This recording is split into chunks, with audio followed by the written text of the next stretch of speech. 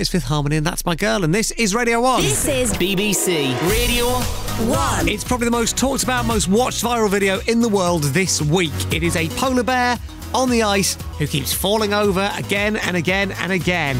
Well, we've managed to track someone down from the people who originally made that advert, White Bear Mitsubishi in Minnesota, all the way in America.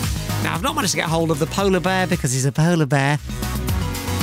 But I do have the next best thing the actual human in the video, Richard. Hi, Richard. Hey, man, how are you, sir? Pretty good, thank you. I love that you call me Sir Richard. I shall call you Sir as well.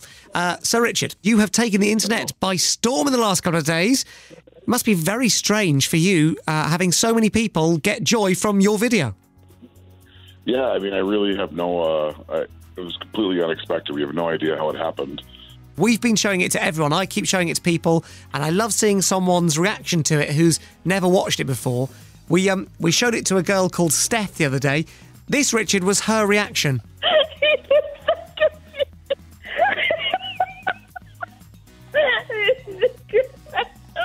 She could not contain herself, Richard.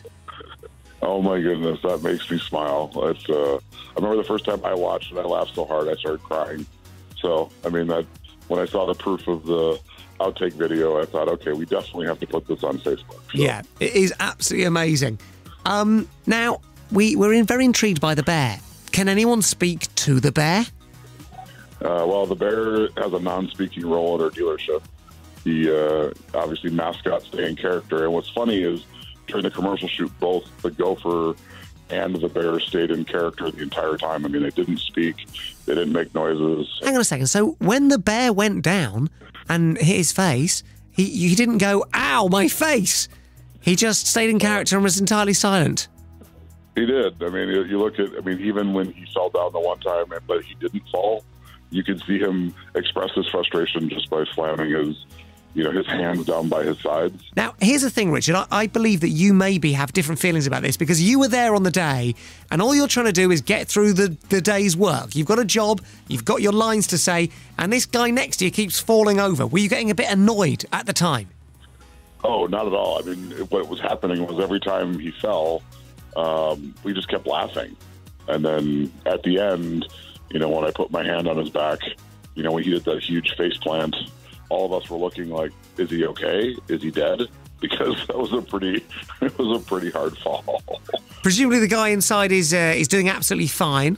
yeah, actually, no, no bears or humans were harmed in the uh, making of our commercial. So, why was the white bear falling over quite so much?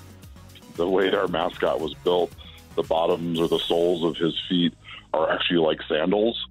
So if you can imagine walking on smooth ice with sandals. the- I mean, the bear has so- now become a legitimate celebrity in its own right, Richard. Um, do you I fear don't know if I call him a celebrity. He might be a bear celebrity. he's a bear celebrity? Um, do you fear that the fame is going to go to his head? I don't think so. I, the white bear is very down to earth, um, and so I think you know we'll be able to make some more bear and gopher commercials. Well, do pass on my regards to the bear and also to the gopher who was there playing a less hilarious but still important role in the video. Um, and, and and thank both of them for bringing joy to me and to lots of people, including the ones I've shown the video to. That's amazing. Thank you so much. Richard, it was lovely to talk to you. I can't wait for the next video. Cheers, mate. All right, cheers. The FA Cup on the BBC.